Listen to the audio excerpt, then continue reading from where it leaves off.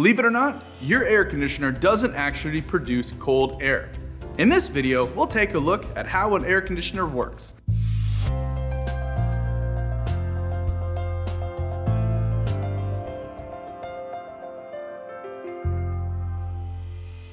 Hi, I'm Luke with Fire and Ice.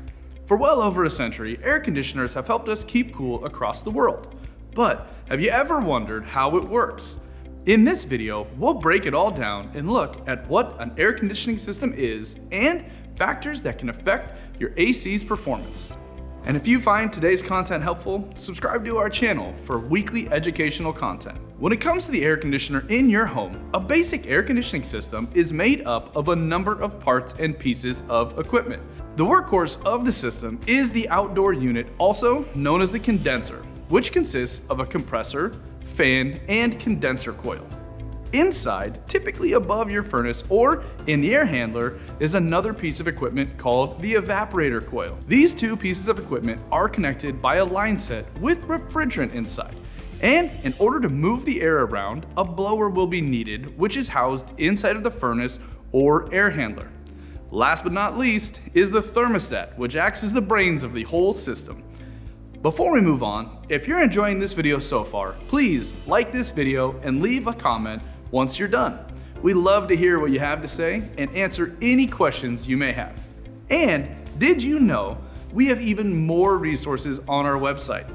Click the link here to visit our Learning Center for more in-depth information. And don't forget to subscribe to our channel for more great content. Now that we've gone over all the parts, let's look at how it all works together to cool your home. In a nutshell, an air conditioner works thanks to thermodynamics and some physical changes that occur to the refrigerant as it runs through the system. The refrigerant alternates from a liquid to a gas and back again as it travels inside of your home to the outside. This allows for heat to be absorbed from the home and dissipated outside. The whole cooling process starts at your thermostat. When the indoor temperature goes above the thermostat's set point, a call for cooling is sent to both the air conditioner and your furnace's blower motor. Outside, the compressor takes the refrigerant via the suction line and compresses the refrigerant down. At this point, the refrigerant is in a cold, gaseous state, and as it's compressed down, the pressure increases, causing the refrigerant to become very hot. The compressor also pumps the refrigerant through the condensing coil.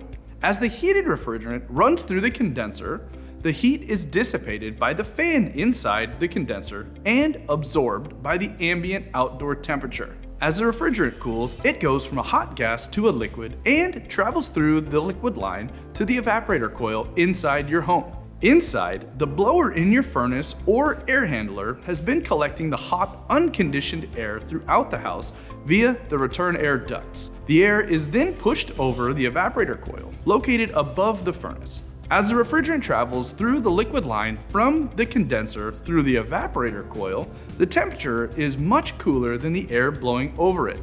During this phase, the refrigerant absorbs this excess heat in the air while the conditioned cooler air continues to blow throughout the rest of the house. By the time the refrigerant exits the evaporator coil, the liquid has evaporated back into a gas state where it continues its cycle. The whole system runs until the thermostat senses the desired temperature and sends a signal to turn off the cycle.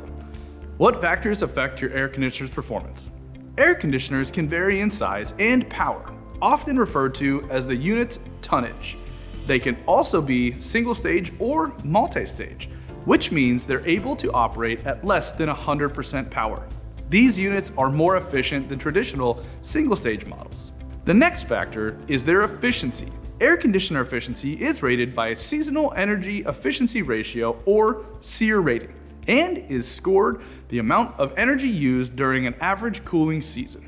Most air conditioners on the market are rated between 14 and 22 SEER, with higher numbers equating to better efficiency and more cost savings. Let's talk about what to do next. If you want more information on air conditioners or other cooling systems, click on the link in the description below.